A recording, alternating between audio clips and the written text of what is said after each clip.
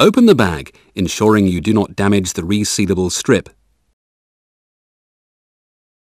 Remove the respirator from the bag and place it onto your face. Pull the head harness over the crown of your head.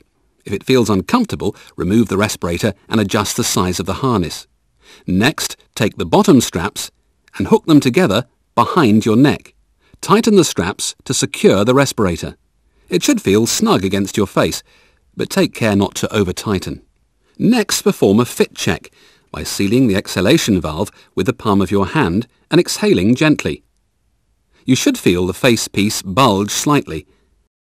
If it does not, reposition the respirator and adjust the strap tension, then repeat the check.